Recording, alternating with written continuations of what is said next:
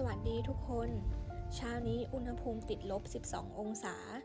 วันนี้เราจะพาทุกคนไปเที่ยวกันที่เมืองฟูรานโนแล้วก็เมืองบีเอะที่แรกของวันนี้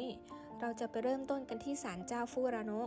เป็นศาลเจ้าเล็กๆ อยู่ห่างจากโรงแรมไปประมาณ 10 นาที เราไปสักการะศาลเจ้าและขอพรด้วยกันนะทุกคน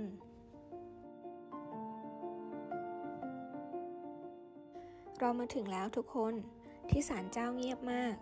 คนญี่ปุ่นส่วนใหญ่น่าจะมาเฉพาะช่วงเทศกาลหรือเปล่า เราไม่แน่ใจแบบวันขึ้นปีใหม่อะไรทำนองนี้ รอบๆศาลเจ้าเต็มไปด้วยต้นไม้สูงใหญ่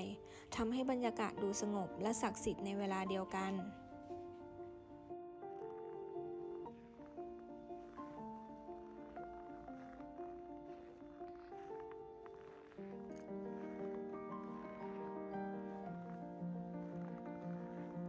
เข้าไปข้างในกัน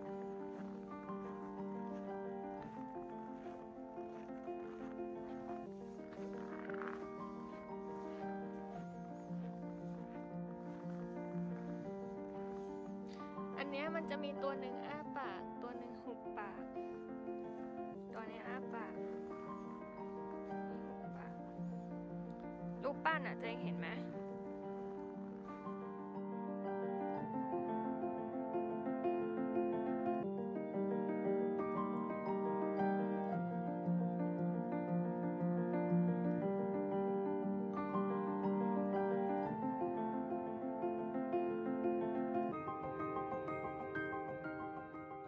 อพรเสร็จแล้ว เราก็มุ่งหน้าต่อไปที่ฟูรานชีสแฟคทอรี่ขับรถประมาณ 7 นาที วิวสองข้างทางคือสวยมากทุกคน อยากให้ทุกคนมาเห็นด้วยตาเปล่าจัง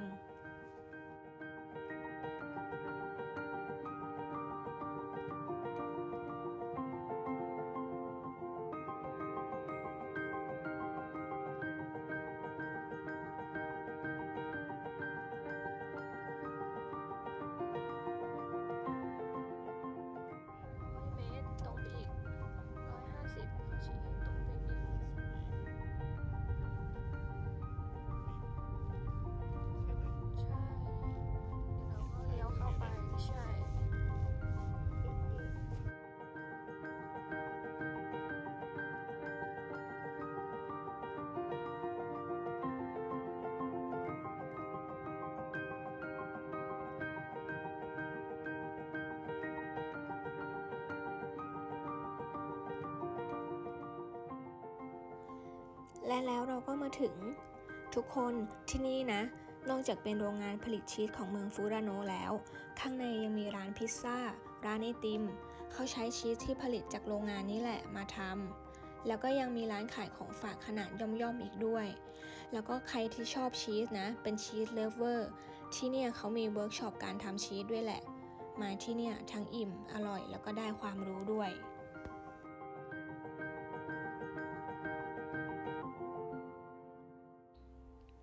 พอเข้ามาข้างใน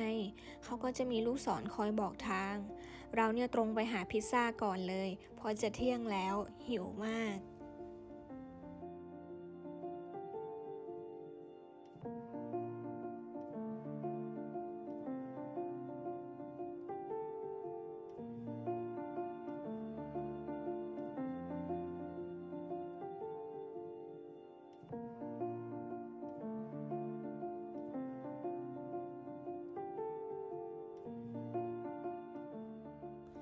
เวลาสั่งเราต้องกดสั่งจากตู้นะ เสร็จแล้วจะได้คูปองมา แล้วเอาคูปองไว้ยื่นที่เคาน์เตอร์ข้างใน เราสั่งพิซซ่าหน้ารวมชีสฟูลาโนไป โห คือรสชาติดีมาก ชีสมันนัวอยู่ในปาก ทั้งหอมทั้งมัน สุดจริง ๆ ชีสเขา ใครมาต้องลองนะ แนะนำเลย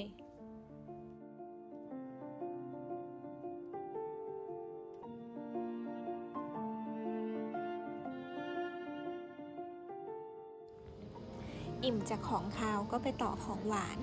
จัดไอติมท่ามกลางอากาศติดลบไปเลยจ้า ฟินฟินๆไอติมอร่อยมาก เนื้อสัมผัสคือดี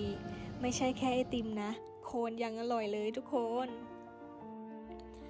อิ่มแล้วเราจะไปฟาร์มโทมิตะกัน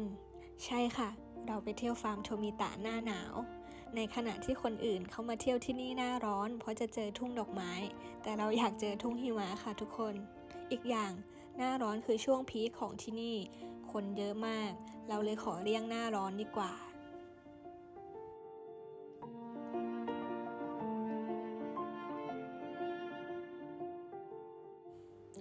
ขับรถมาประมาณ 20 นาทีก็ถึงแล้ว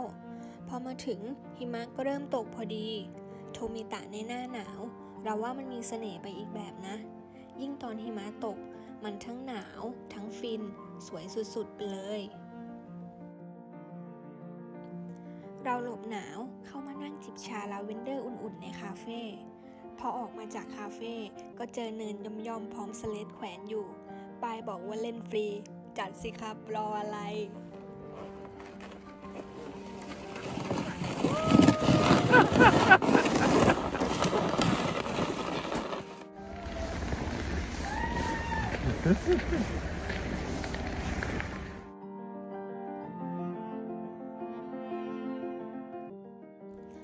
ต่อไปเราจะมุ่งหน้าไปเมืองบิเอะกัน ขับรถประมาณ 20 นาที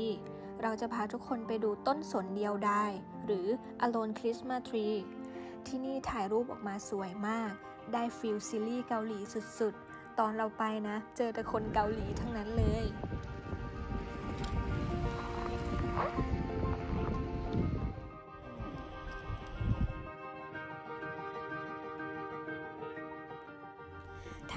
ต้นคริสต์มาสเสร็จ เราก็มาฟาร์มชิกิไซโนะโอกะขับรถ 7 นาทีก็ถึงแล้ว ที่ฟาร์มมีสโนว์โมบิลให้ขับด้วย แต่พอดีมีทัวร์มาลงแล้วคนเยอะ เราเลยขอบาย หนีมาถ่ายรูปกับมาสคอตประจำฟาร์มดีกว่า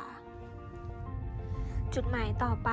ชิราฮิเกะ waterfall แปลเป็นไทยก็คือน้ำตกที่มีหนวดเคราสีขาว ใช้เวลาขับรถประมาณ 20 นาที พอไปถึงแล้วรู้เลยว่าทำไมน้ำตกถึงชื่อหนวดเคราสีขาว ดูสิคะ สวยมาก น้ำสีฟ้า ตัดกับหิมะแล้วก็น้ำแข็งสีขาว ที่นี่สวยเหมือนภาพวาดเลยทุกคน อากาศดีมาก สดชื่นสุดๆ แล้วก็หนาวสุดๆ เช่นกัน หน้าแดงจมูกแดงไปหมดเลย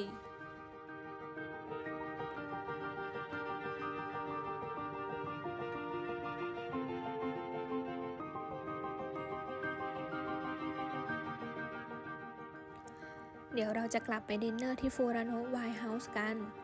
ที่นี่เป็นร้านอาหาร ตั้งอยู่ในโรงงานผลิตไวน์ที่รายล้อมไปด้วยไร่องุ่น เราสั่งสเต็กหมูฟูรานโนมา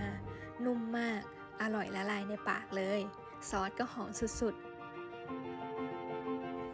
ในเซตยังมีชีสฟองดูมาให้ด้วยนะ ฟินไปเลย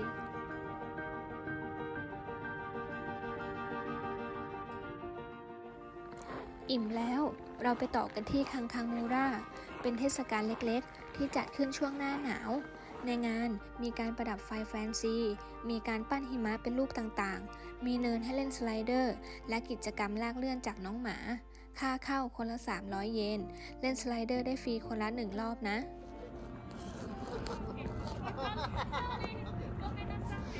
Okay. Go.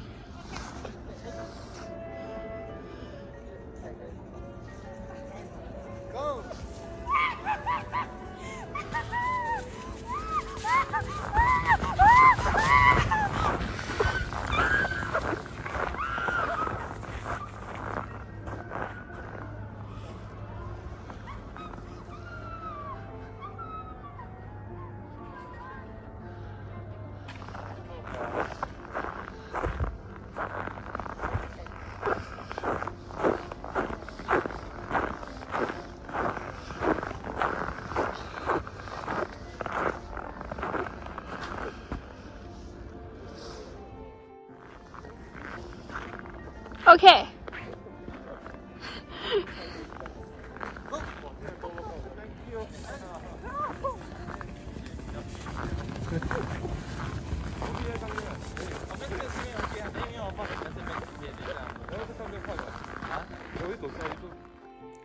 เล่นสไลเดอร์เสร็จ